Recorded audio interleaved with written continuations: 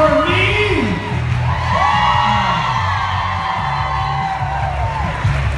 Hi, everybody. Thanks for sticking around. Um, by the way, it's pretty crowded in here. And we're going to be on the floor. So you're, uh, it's